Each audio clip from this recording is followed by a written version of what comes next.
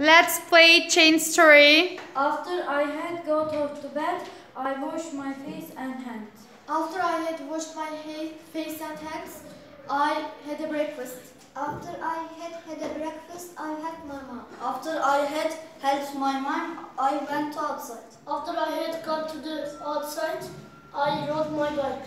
After I had ridden a bike, I went to restaurant. After I had gone to restaurant, I ate pizza. After I ate a pizza, I went to library.